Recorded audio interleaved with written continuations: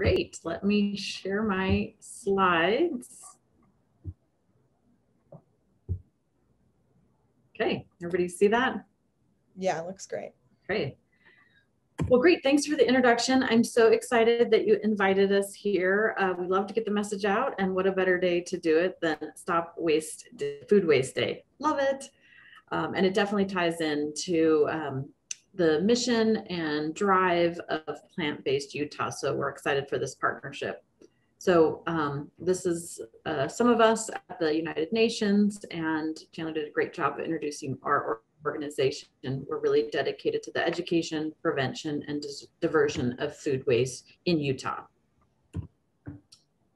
So to get started, when we, we talk about food and food insecurity, it's just interesting to, to show the juxtaposition of the two. So, you know, in Utah, there is 400,000 people that go hungry every day. And at the same time, we're wasting 600,000 tons of food every year. And if you do the math on that, that's actually enough food to feed those 400,000 people three meals a day for 18 months. It just doesn't make sense. Um, as one person once said, um, hunger is not a supply problem, it's a distribution problem. How do we get the surplus food here that's not needed and get it to those in need? And that is why we exist. And in, to go a little bit deeper into the, the food waste problem, this pizza, let's say, you know, you're, you're at a, the pie pizzeria and probably wouldn't have pepperoni on any of you, but um, and the the waiter is bringing out your pizza. You can smell it. You see the steam coming off of it. And before the pizza gets to your table, they stop at the trash can and dump off a third of that pizza into the trash. You'd be you'd be like, wait a minute, I just I bought that pizza. I wanted that pizza. Well, that's the amount of food waste that's going to waste in the the world. Is a third of all food that's produced and raised never even ends up at our fork because of this problem. That's enormous, especially when you think of the planet and the population growing. It just does not make sense that we're doing that with food. If we bring it down, down to the household level, say you've gone to the grocery store, you've got these five bags of groceries, the clerk says they'll help you out to your car with that you load in three of the bags, go to put in the other two, and the clerk starts to walk away with your two bags of groceries. And you say, wait a minute, I just bought that. Well, that's actually what we're doing at home, just not when it's brand new fresh food, but we are doing it. For example, when this bread gets stale, we're throwing it away. This red pepper that we may not have gotten to, it's in the back of the drawer, or these grapes that weren't quite sweet enough we throw it away. Um, the good news is in 2019, that number went from 40% of the food we bring, bring home ending up in the trash to 35%. So it's an improvement, we'll take it. But even that, you just, you think, why would we do that when we spent our hard earned money on this food? And you think of all it, it took to grow this. Uh, for example, the average household, that amount of food that's being wasted amounts to $1,600. So again, when we think about being efficient with our money, another reason we don't want to do that. And 37% of all the food waste that happens in the world is happening at the consumer level. So the good news is it's something each one of us can make a difference and improve, which I'll go into um, in a minute. So just to give you perspective, this lettuce, um, just if you'll let me open chat, I want to, if you guys uh, will just, oh, I don't think I see chat. There, sorry. Okay, um, if you guys will put answers in here, how long you think it would take this lettuce to decompose in the landfill? Any guesses to just throw them out there? Great, three months. Thanks, Lindsay. A month. Anna. Hundreds of years. Nancy, you're fairly close. Katrina, too. 25 years. And for me, when I first learned this, I was just like shocked because I always would thought, hey, food ending up in the landfill, it, it biodegrades, right? So that's better than plastic, right? Well, it's actually not. And the reason that is if you think about the process, right? A dump truck comes to landfill, backs in, dumps the food or you know, dumps whatever everything we waste, right? They come and compact it down, more dump trucks come, dump more waste, compact it down. And what that is causes is no oxygen being able to get in there. And that's what food needs to decompose. So what's happening then is microbes come in, eat at that, let off methane gas. And that actually, that methane gas is actually worse for the environment than the carbon dioxide from our cars. And the reason that is, is methane gas actually traps heat in the environment more than carbon dioxide. So that's why it's more dangerous. And thinking about then compost, like why is that such a less time? Because that's actually more like the two weeks to a month, depending on how you turn it, um, is because you're putting food in there, you're also putting um, uh, leaves properly and grass clippings. You turn it regularly, and that process is what actually allows it to decompose the way it should. And the oxygen is allowing that to get in, that you're not having those microbes, methane gases being let off. And that's why it can decompose so much quicker in the compost bin. So, something to think about now when you throw that food away in your bin. So back to uh, global food waste, just to show the enormity of this. If, if food waste was a country, it would be the third largest greenhouse gas emitter in the world, just behind China and US. So that blows my mind when you think about how many countries there are in this world. And it also just disappoints me to see that the US is number two on that list in terms of waste of food. And you know, you can stop and kind of think, right? We our grocery stores are always full of food. We we don't see scarcity, whereas there are many countries, right, when they maybe make the long walk to the grocery store and have to carry food back, or there's not always food on the shelves when they get there, they are more conscious of that food and making sure it lasts.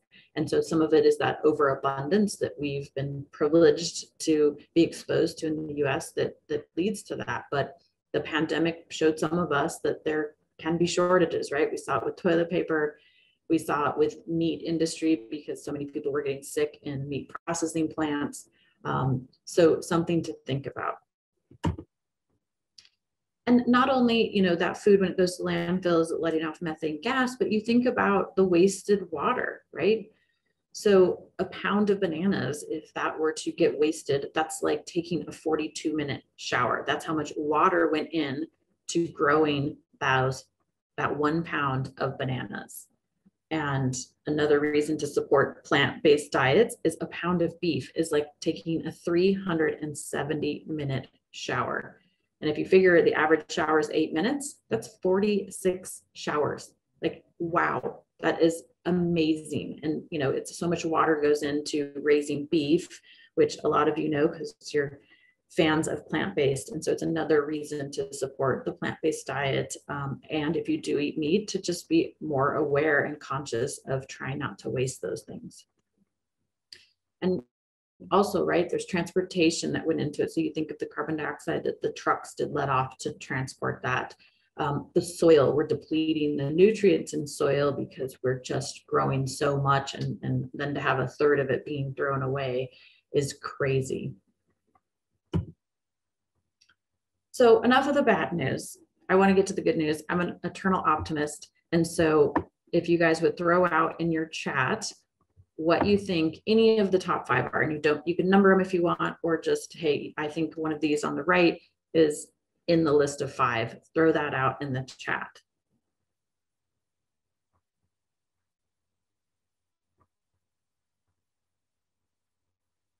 No particular order, just any that you think rooftop solar. Thank you, Anna.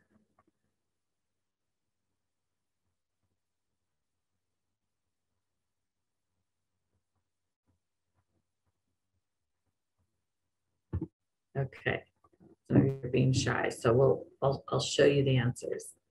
Plant-based, yep, geothermal, rooftop, and turbines. Those are good ones. Okay, let me show you.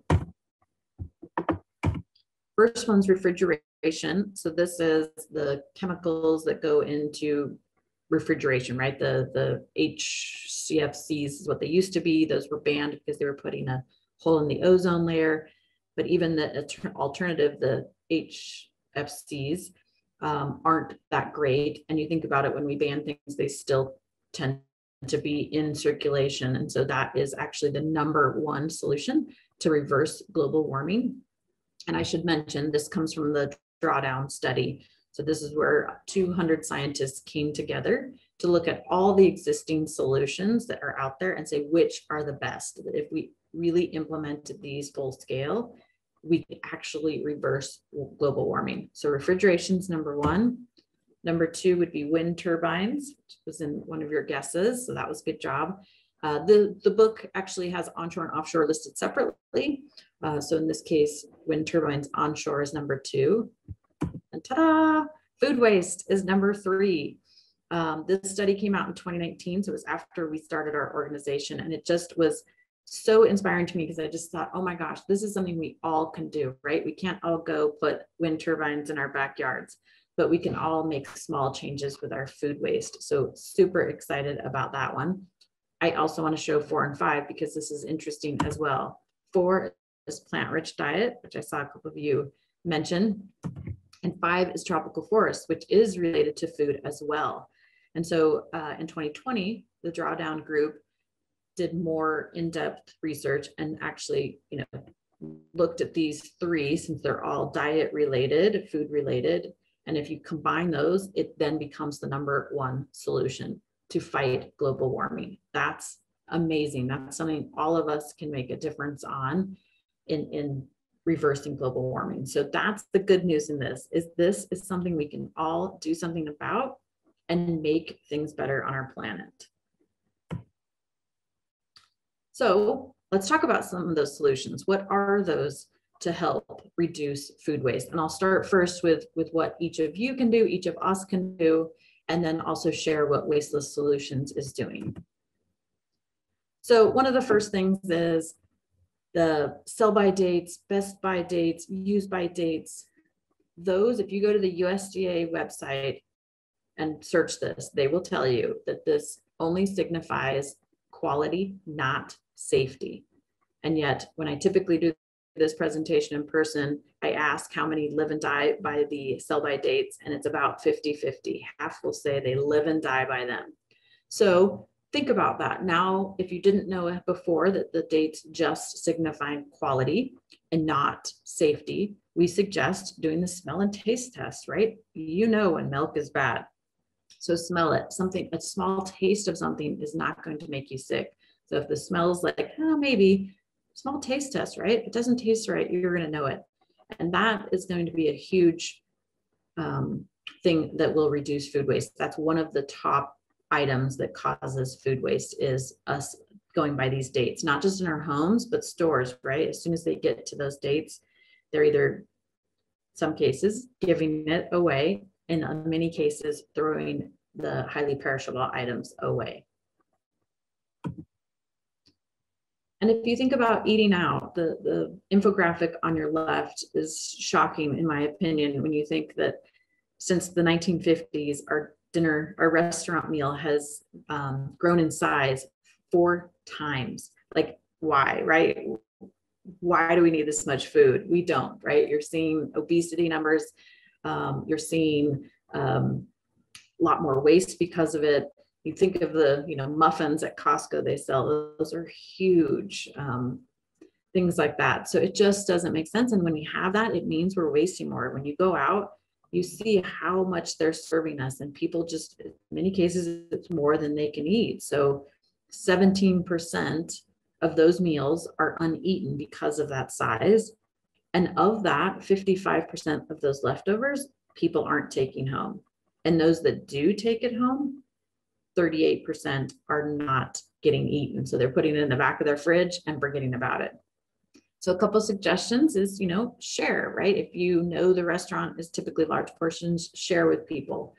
Um, or definitely take it home and plan a leftover night in your weekly schedule that, to make sure that you eat that. Um, I have a neighbor that we I live downtown, and so they always make a point of taking the leftovers and when they leave the restaurant, they just walk by way home and give it to someone uh, who's homeless and they know it's been eaten rather than gone in the trash. Another suggestion is to buy what you need. You know, we're all tempted by offers and two for one, or like in this case, this lettuce on the left is from a big box store like a Costco or Sam's, and it looks like such a great deal, right? The price compared to what you get at the store. But if you're not going to be able to get to those six romaine hearts, it wasn't worth it, right? It goes to waste. You've wasted your money. So really buying only what you need. And that can include, you know, we have bulk stores. And if you're familiar with Hello Bulk, you can take your own containers. And not only are you not getting plastic that way, but you're also just getting what you need. You're buying, you know, this much nuts rather than, you know, a five pound bag of nuts that may go bad. Um, so we always suggest that and and don't go for those offers of like buy two for one, those types of things, unless it's not perishable, then then sure, and you know you're going to get to it. But if it's perishable, we encourage you not to to do those unless you're sure you can eat them because it's really not a deal. And another suggestion is shopping from your fridge and pantry first. So if you're one that, that goes shopping on a regular basis and plans your week, that's going to be the best way to reduce your food waste is planning and creating a menu and saying, here's what we're going to eat and be realistic, right? Not say, hey, I'm going to cook dinner seven nights this week. Plan for, um, I particularly only plan for four, knowing I'm going to have leftovers, maybe order out to help a small business and who knows what happens. So I that's how I plan it. So let's talk about that lettuce we saw earlier. Today we've got iceberg lettuce in our fridge that we don't want to go bad. This is how you can shop. And the other thing I suggest about this is this is helpful when sometimes you're overwhelmed with what to eat during the week, right? Like, oh my gosh, I have to think of what I'm going to want is starting this way with what you have in your fridge and pantry that needs to be used. It makes it so much easier. You just go in and say, oh, look, I have purple cabbage, I have lettuce. What can I make this week? And Pinterest is something I do. I've sometimes put in like two random ingredients just to see if there was something I could make with the two. And I have. So that's always a great one if you're not sure of ideas. But starting from the fridge and pantry. So you've got this lettuce, say Sunday night, you're like, I'm going to make some tacos I'm going to put lettuce in those tacos, but that's not going to use all, all, my lettuce, right? So then maybe Monday, I'm making lettuce wraps um, and using, you know, these are um, meat, but what if you said, hey, I've got carrots and cucumbers and cabbage, making lettuce, vegetable lettuce wraps is a great one. Um, and we also encourage people to use homemade sauces. So buying ingredients rather than sauces, because you may end up with hundreds of those in your fridge that you don't need. Whereas if you make your own, you can just make the amount for that meal. And say I still have some lettuce left over, right? If you're a smaller family, the whole head might go this far. And you say, okay, Tuesday, I'm going to make a lettuce wedge salad. And so you're having that variety because a lot of people don't love the same thing all week. This is a way to incorporate that through. So rather than buying lettuce for tacos and not using it again the rest of the week, think rethink that like how else can i use that in a different way that sounds appealing to myself and my family so i want to talk to you a minute about what we do at Waste Less Solutions to also help address this issue. First and foremost we do things like this education. That is our biggest thing.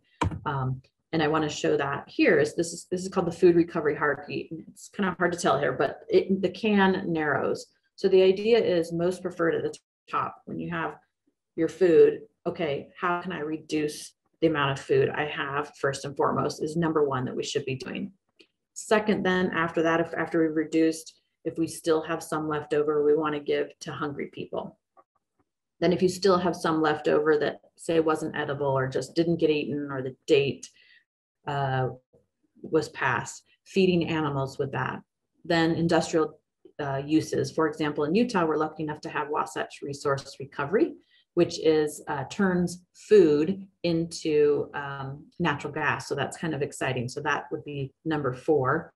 Five is composting. So a lot of people get excited when they hear what we do and they say, oh, I compost. And I say, that's great.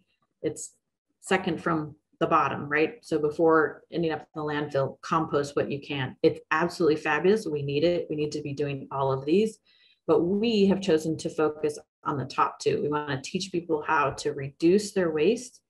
And then we also want to feed people with our food rescue program.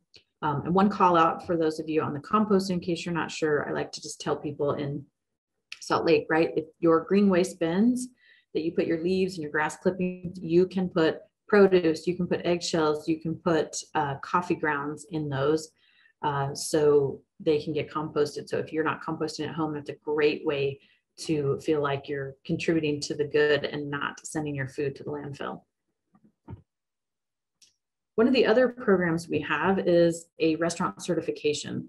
So some of the small restaurants don't have a lot of food waste. They do tend to have a little bit more in the, the once it gets on people's um, tables. And so we're working with them to develop measurement programs and then see how we can help them reduce their waste, uh, their food waste. But also we see this as a great opportunity to educate consumers. Like if each restaurant that signs up is communicating to customers about food waste and why they've made certain changes on the, the menu or putting a little flyer with the to-go box or a little sticker on the to-go box that talks about food waste and gives them tips to heat up their food, we can make a greater impact rather than just us doing it. So that's why we launched this program.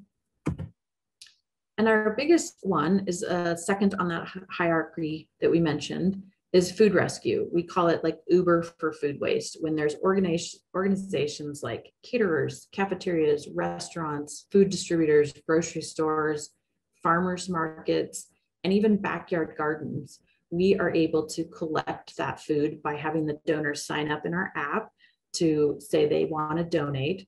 And we our goal for this is really to have every food organization in the United States, or sorry, in Utah, should be the United States, but we're concerned with Utah, sign up for this.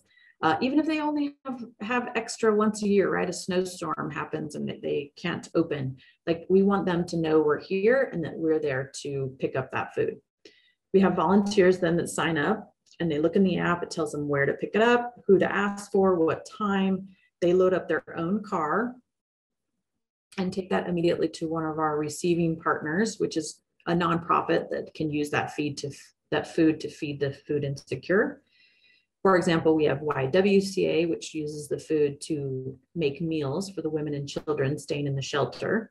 And then we give some food to like Boys and Girls Club, where they actually let families take that food home so that they have food at home at night and weekends. And we've been doing this since we started in 2018. And to date, we've saved almost 500,000 pounds of food and that's been through 1,400 food rescues. And the amazing thing is that's only with 56 food donors. And if you think of how many food organizations there are in this state, we have so much more we could be doing. And the beauty with this app is we have the ability to grow because it's all automated. I always like to show some of the food that we rescue because I, I think some people think, oh, you know, dumpster diving. It's not. We get food sometimes that I say, what's wrong with this? I can't tell. And these bananas, for example, right? This little brown spot you can see, but you don't see much elsewhere. Well, grocery stores want their produce um, green, their bananas, and so they will reject entire truckloads if if they don't see that. And so we rescue a lot of bananas. And in my opinion, I still like them browner than that. So those aren't even ripe enough for me yet. The strawberries, these are about three or four days out from really starting to get a little moldy. So they do need to be eaten quick. And that's why the customer rejected these.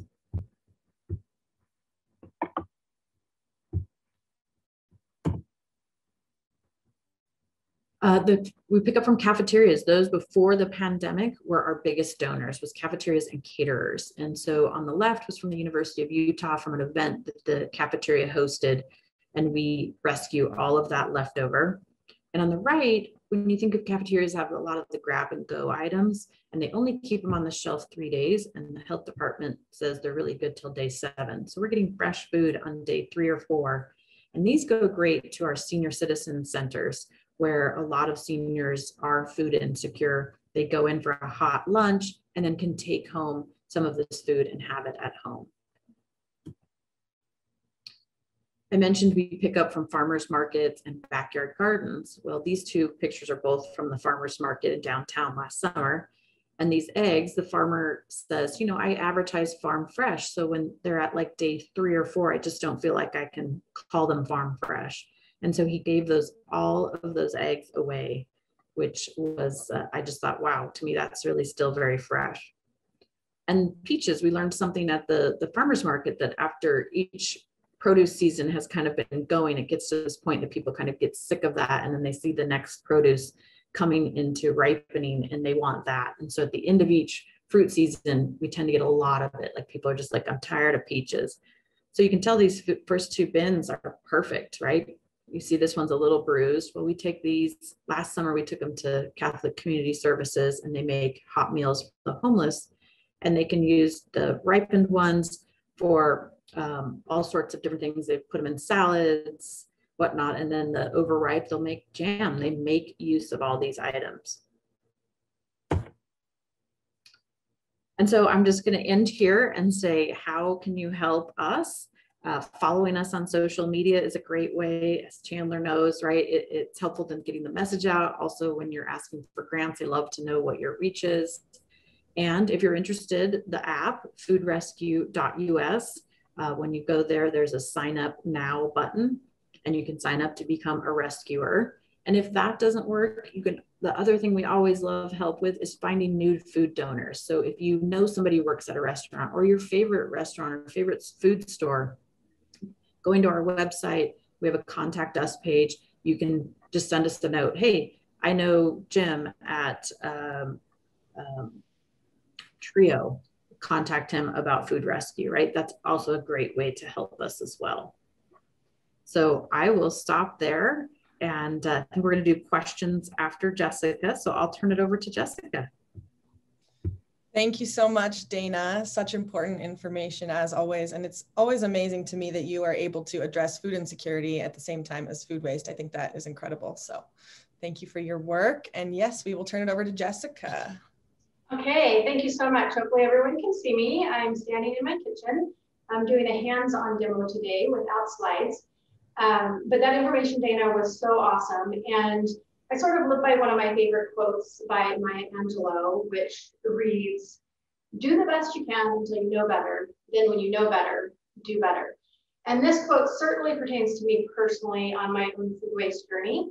Um, as Chandler mentioned when she read my bio, I am a registered dietitian. I've also been following a whole food plant-based diet for over 25 years. But the concept of food waste and, and the problem that it's causing is relatively new to me. And unfortunately, most of my background has been in nutrition science.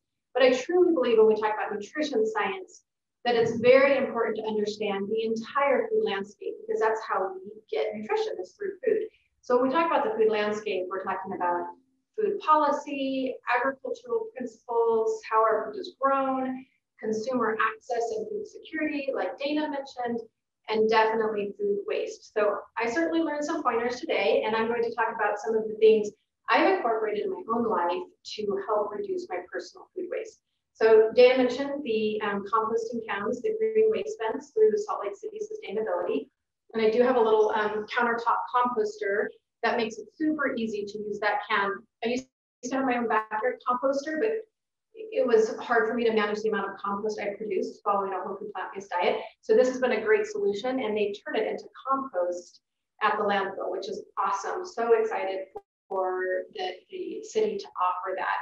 It's something we all should be um, utilizing. And then, and again, kind of following my quote, one of the things I like to do is just constantly evaluate how I can do better in my own life. So I picked doing a demonstration on plant-based milks because this is one area I identified where I could definitely do better. So um, again, following a whole food plant-based diet for 25 years, uh, way back in the late 80s and 90s, there weren't many great choices for plant-based milk. In fact, there was powdered soy milk and the aseptic package soy milk that sort of tasted like chalk. It, it wasn't all that great. And flash forward to where we are now, and there's entire grocery store shelves filled with commercial plant-based milks. Most people see this as progress towards the direction of the plant-based movement. However, if we step back and really subscribe to the idea that we should be eating more whole foods from plants and less foods from factory plants, this sort of misses that idea. So the great thing about making your own plant-based milks is it not only eliminates all of this bulky packaging that ends up in the landfill, but you also get to control all the ingredients that you put into the plant-based milk. And then most importantly, you get to control what comes out of it or the waste. So we're gonna talk a little bit about that today. I'm gonna demonstrate two different techniques and then a recipe utilizing the pulp from the nut milk we're going to make. So I keep all of my items in bulk. You can shop at bulk food stores such um, in bulk bins. Uh, and there's a couple stores that locally that actually sell specifically bulk items. So I have an assortment, so I never run out. I can make different plant-based milks at any time from almond milk, cashews, even hemp milk, flax milk. And these are whole oat groats. So it's important when you're making your own oat milk that you use the whole oat groats, not the rolled oats. Um, so today I'm going to demonstrate one of my favorites, which is just a really simple almond date milk. And all you need is raw almonds, about a half of a cup. And we'll also send out a recipe sheet with these recipes as well. So I have a half of a cup of raw almonds mixed with two to three pitted medjool dates. And again, I, I buy my um, my bulk, my dates in bulk and just keep them in a jar. You want to pit those and then you just soak it overnight. And then it's super easy. Once you have these soaked, you can drain off the water and the first technique I'm going to demonstrate is using something that most people have on hand, which is a high-speed blender. So this is my Vitamix. And when making almond milk, one thing that I've learned is to use pretty hot water versus when you make oat milk, these are my oat groats that have been soaked, is to use ice water. If you use hot water or even room temperature water with the oat groats, it gets a little gummy because of the fiber in oats. So um, the milk can get a bit, the consistency can be bad. So here's my drained almonds and dates. Now I like to add a little flaxseed. I don't even really measure it. I just sprinkle a little in here to get the health benefits from the flax. So this is ground flaxseed meal. One or two tablespoons is great. It also um, helps to thicken the almond milk. Um, place it on the Vitamix, and then I have some water that I've heated up. So again, with the almond milk, you want to use a relatively hot water. This is actually almost boiling. And then I just pour it to about the five cup line. So again, only one half cup of almonds to five cups of water. And then just turn your blender on.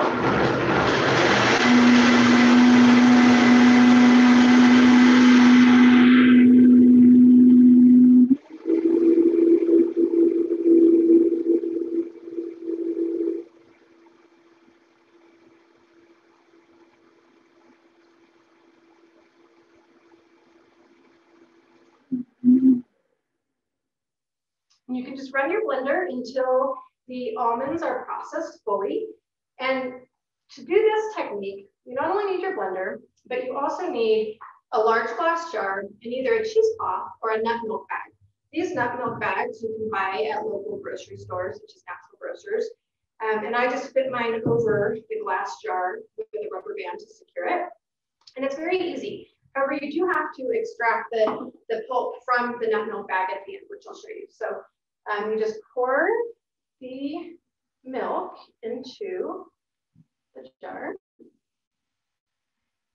And we'll just slowly let that work its way down as we move on to our next technique. And I did this method for years. And it's great. It's, it's very easy. It's, it's low impact to the kitchen. You don't need to have additional supplies. However, this past year, when I really made a full commitment to make all of my own homemade plant-based milks, I did invest in a nut milk maker. And I just want to point out that I don't receive any compensation or any endorsements from this manufacturer. However, this is the one that I own. It's called the Almond Cow. And the interesting thing about this contraption is it comes with the, the base where you collect your milk. And then instead of using a nut milk bag, like I just demonstrated, it has a container that collects all of the pulp in here. So in this demonstration, I am going to make a coconut cashew milk. And this doesn't take very much coconut. So I only like to use a little bit of dried flakes. I've also made this using the fresh coconut meal from a coconut and that works well too. So for this recipe, you need about three fourths cups of raw cashew pieces and then about an eighth of a cup of dried coconut flakes or the fresh coconut meat. And again, the very first step is to drain off the soaking water. So these I soaked. The, the cashew and um, coconut milk, you only need to soak for about 12 hours. And then you place this into the basket. And one thing that I, with this milk, with the coconut cashew milk, is I don't add any additional sweetener because the coconut already has a little bit of a sweet taste. So you don't need to, to add any additional sweetener. And then you place, in this particular nut milk maker, there's the blades on here. So you just place the blades into this basket and make sure it's sealed nice and tight. And then you place it into the base with your water. And in this case, I'm also adding five cups of water. And this, this can just be room temperature water. It doesn't need to be as hot as the almond milk. Place this in here. And the little green light comes on and you just press the button.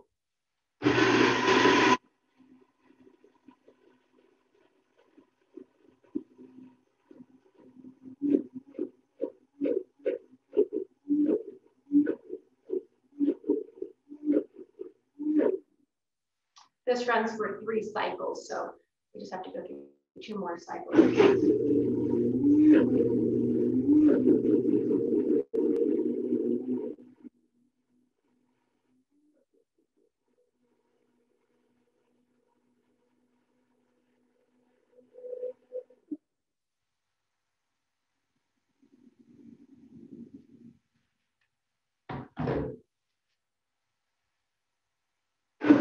So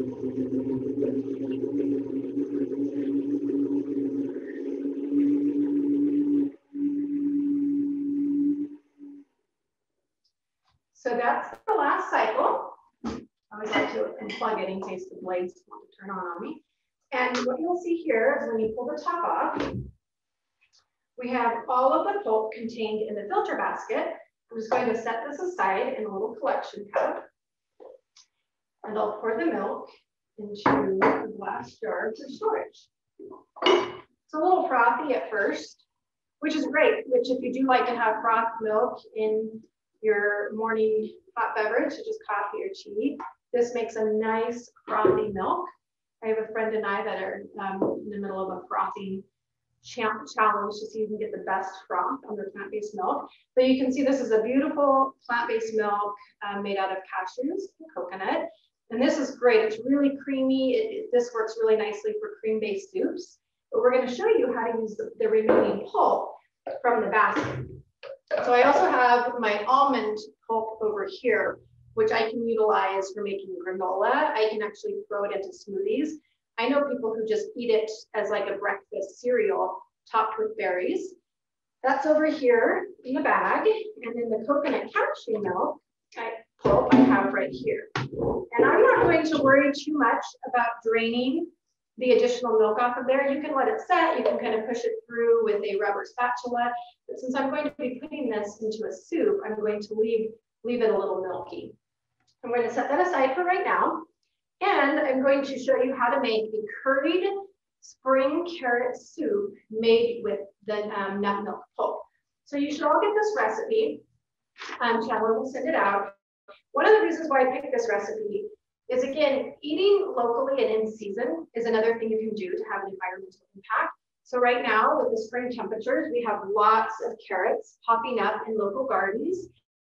Um, so these are an in-season vegetable, as are some of our spring onions. So this soup only calls for six ingredients. It's super simple. The carrots are packed with carotenoids for health, as well as um, turmeric in the curry spice, which is an anti-inflammatory spice. And then it's zero waste because you're using the pulp instead of what this soup would traditionally call for is a can of coconut milk. So we know that that's processed, it's high in fat, it's been sitting in a can for a long time, and then you have the packaging that comes with the can. So we're gonna start out. Um, with this, I do use my Instant Pot, but you can certainly cook the carrots on just your traditional stove top. So I start out with my Instant Pot container. And in here, I'm going to add four to five large carrots um, that are just chopped. These only need to be chopped into about an inch or two chunks because you're going to puree them at the end. So there's the carrots. one half of a sweet spring onion. And then I put my ginger in here to, to really cook to add flavor. So this is about a one inch piece of fresh ginger that I've just peeled and cut into chunks.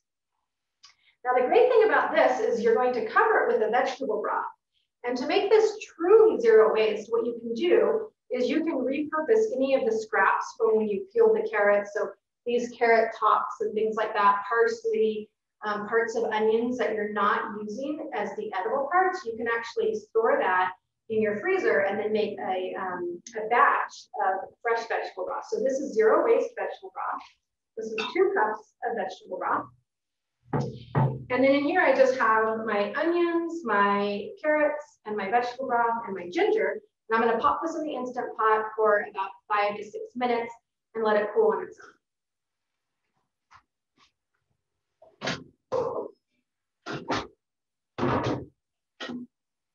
So voila, it truly is instant. um, so I, I pre-cooked this batch to show you, so we didn't have to wait for the time. The Instant Pot isn't quite that instant.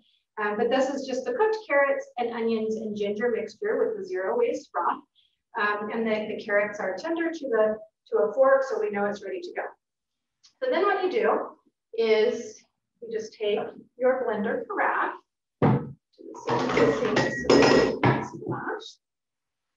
and you pour this mixture into the blender.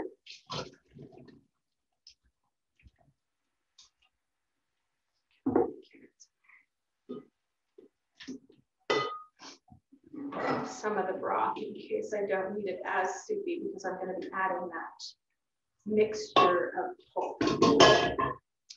So then in the blender, we now have the carrot, onion, and broth mixture right here. And then we're just going to add the the ingredients. So the the ingredients are the um, curry powder. So this is a half tablespoon of curry powder. And then we are going to use this lovely um, pulp. And you can imagine in making commercial nut milks, how much of this pulp is wasted. So I'm just going to dump this all in here. Now what you're not getting when you buy plant-based milk is you're not getting all the fiber that comes from the pulp. So this is not only adding the creaminess, but it's also adding some fiber. put the lid on.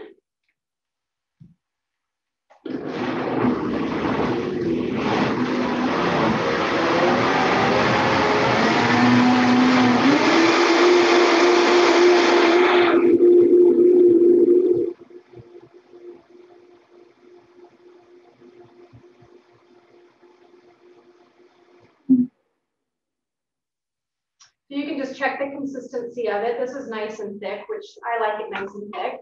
I often serve this over um, a little bit of quinoa or brown rice and have a little more of the broth that we have. Make sure we get all of that utilized. And just give it one last pulse. Make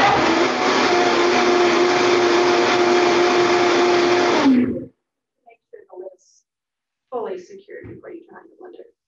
Um, we'll set that aside. And then this soup, uh, you can just pour it into a bowl. I actually really like to squeeze a little lime juice in here. And I also like to top it with some fresh chopped parsley or cilantro, which I'm often looking for recipes to add cilantro because I'll buy a bunch of cilantro and then I don't use it all. So this is some um, fresh chopped cilantro. And then I have a little lime juice, which I'm just going to squeeze on top. It really mellows out the curry flavor. So you can just squeeze the lime right on top there. And then you have this lovely curried carrot soup made with the cashew coconut milk. And there you go. And we can come back and visit the almond milk. What you can see in here is if we loosen up the bag, in this technique, you have to really milk out the bag. It's a little messy, so I won't demonstrate that today, but it's, it's also very easy. And then you just end up with your pulp in the bag. So again, the pulp, if you're not going to use it immediately like I did today, you can put it in some silicone freezer bags and store it in your freezer. You can also dehydrate it into a flour to be used in muffins and pancakes or cookies or whatnot. So that's my demonstration today. Now we'll um, hop over and answer some questions. Thank you so much, Jessica. That was great. I wish I was at your house to enjoy that soup with you for lunch. Um, one thing that Jessica said that I love, I keep a Tupperware in my freezer. So as you have food scraps, a lot of times recipes will call for just like a few onions, green onions, and I'll let a few kind of get you know close to going bad so i'll hurry and freeze them or onion scraps. Um, another good thing too if you buy herbs for a recipe and you have extra um, you can just pop them in the freezer if you feel like you're not going to use them and then use those for your stock as well. Um, okay let's check out the chat. Does anyone have any questions that they either want to throw in the chat or you can this is a small enough group you can unmute yourself? We did have one about dana are you willing to share your slides? I will be posting this video online, so we can get them that way, but. Yes, happy to share. Love people to know those facts. Thank you. Perfect. So I'll have Dana send those over to me and then I will send those out. Um, I had a question for you, Dana. What sort of policy changes um, would you like to see in an ideal world? Like what are kind of the policies around the food waste issue that would move the needle?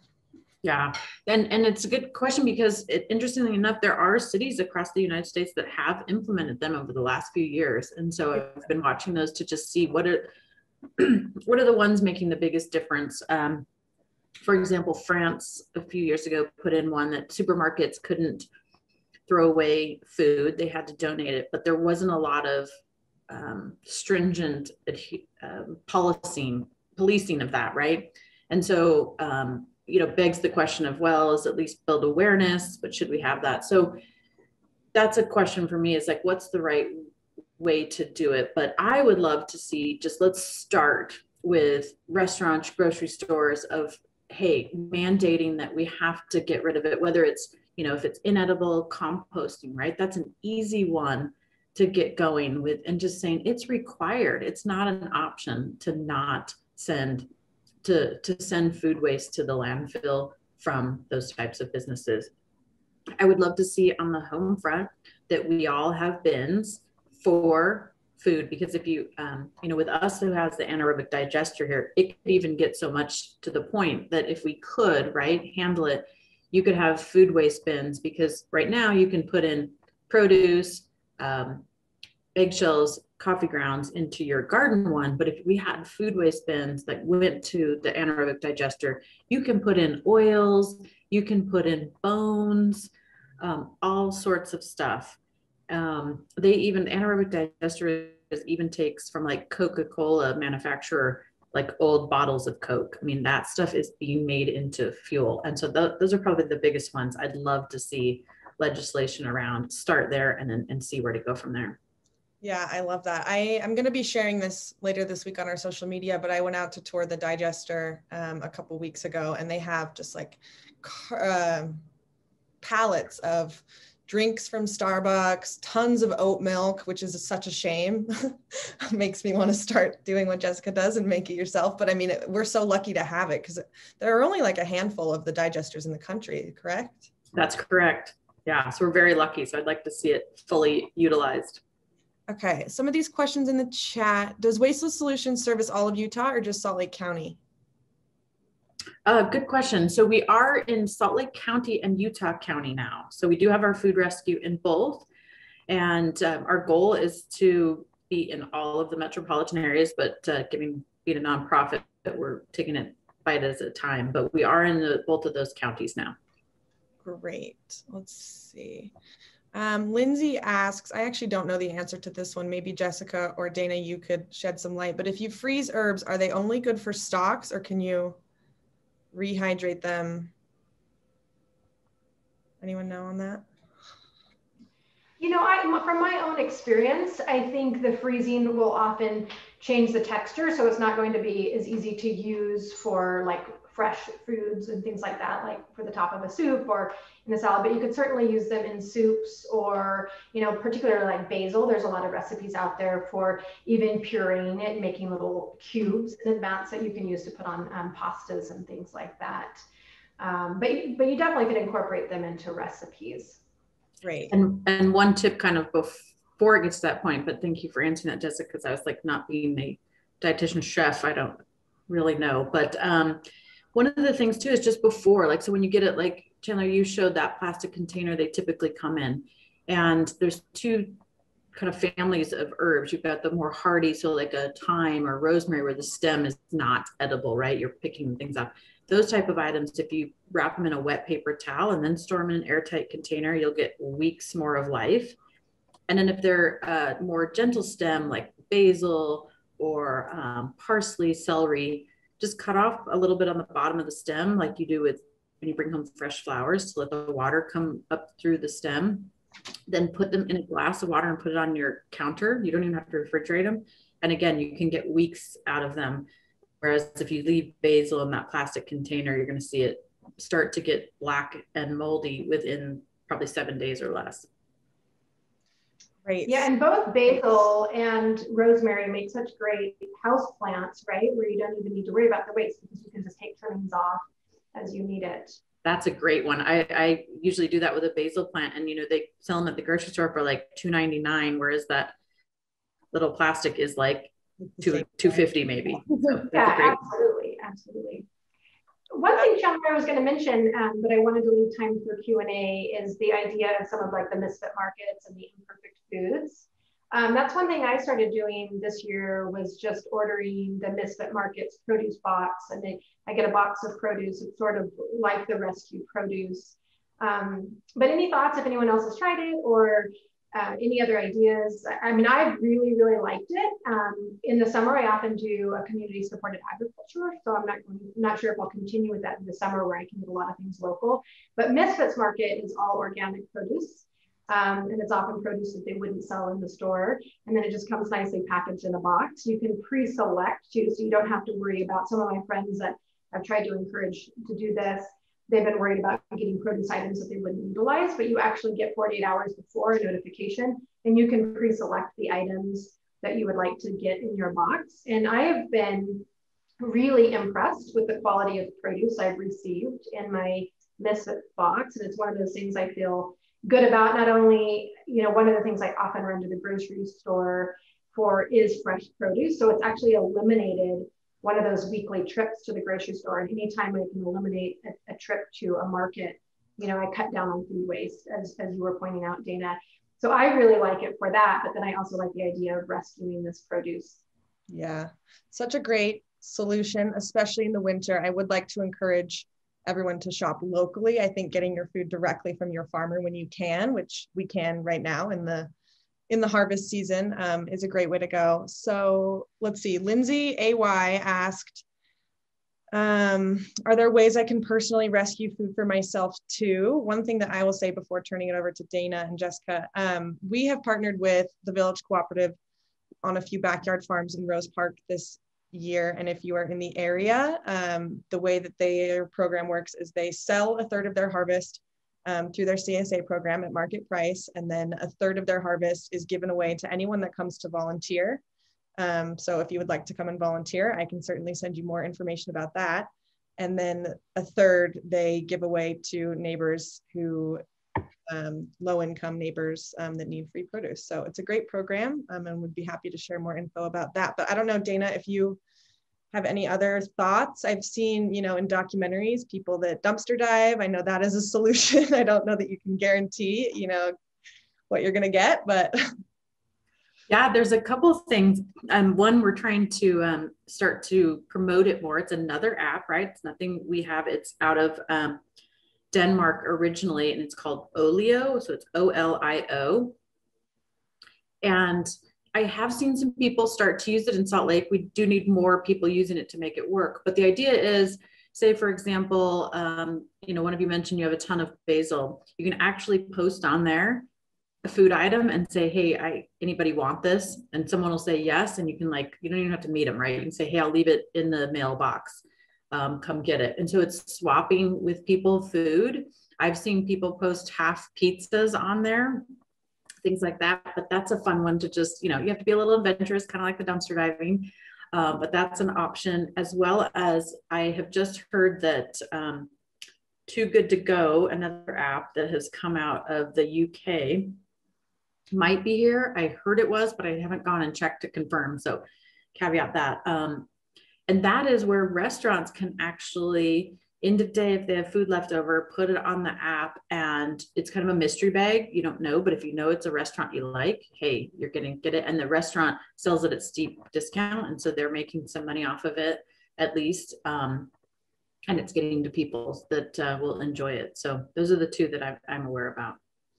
Um, quick comment and then i'm going to turn to nancy's question but to lindsay ey um, asking if they take food scraps anywhere in utah county um, Abby at Animalia, she just opened a shop that she sells handmade goods. And because this service of taking these food scraps is only available to businesses, she thought, well, I'm a business and I could allow individuals to bring it to me and then get it to the digester. So I wonder if there's a way where you could approach if there's a business that seems particularly aligned to any of this stuff um, and ask them if they're interested in a program like that because it would be, it's such a great service. Um, so Nancy asks, Outside of education and mandating policy as a path to change, are there other ways that you're partnering with the private sector to affect change?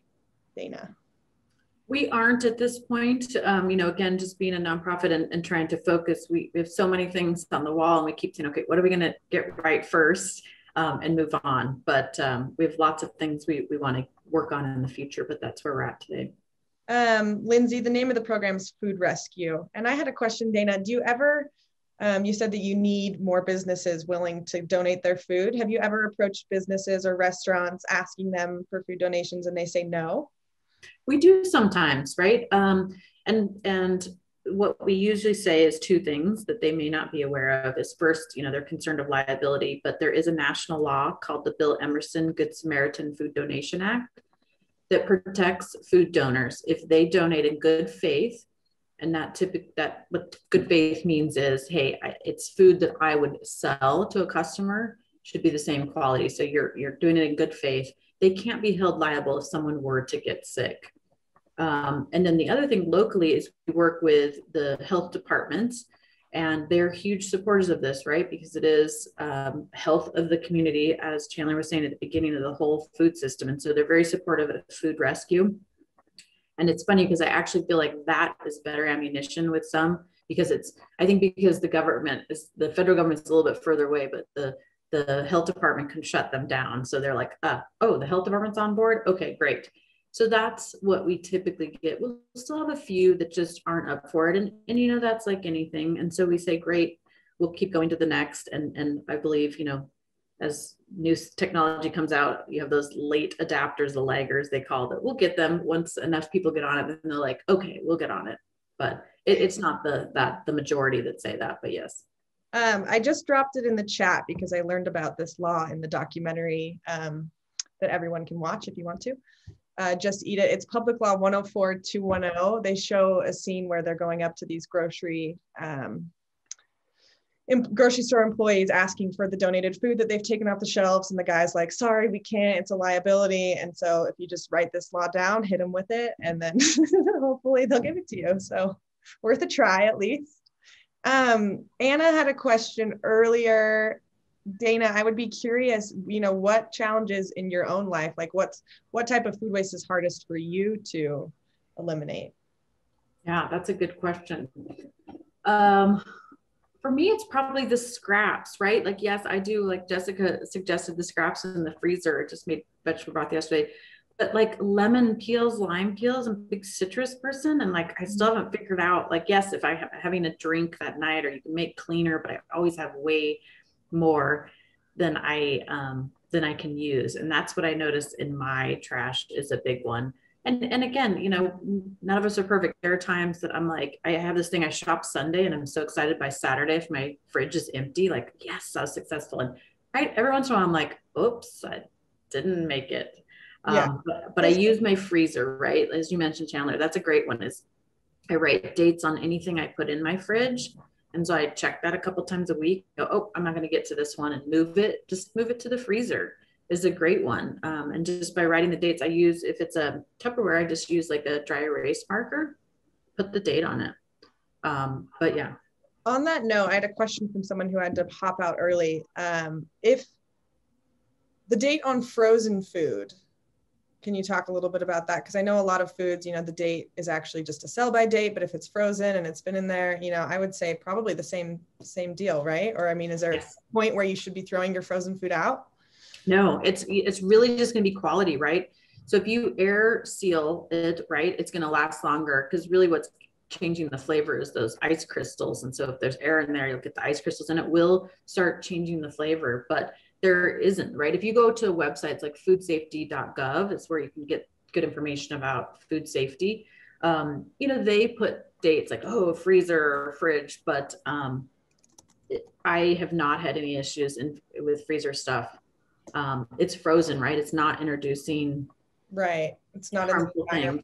Yeah. Right. The only thing I will say, you know, if you defrost, um, you know, defrost in the fridge, not the, the counter, because you can introduce foodborne illnesses that way. If you defrost in the fridge and don't get to it in time, you can put it back in the freezer and, and it won't have any impact on it.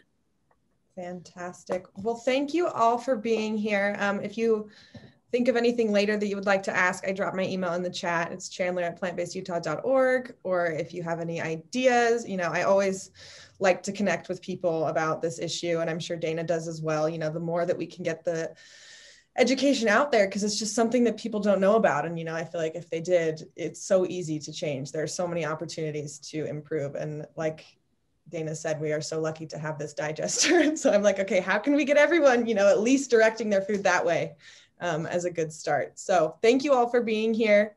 Um, we'll send this out, the recording with the recipes. And I might try to collect, you know, a list of those apps that you mentioned, Dana. That could be fun for people. Yeah. So Send that to you. thank you all so much. Have a great rest of your day. Bye, everyone. Thank you. Bye.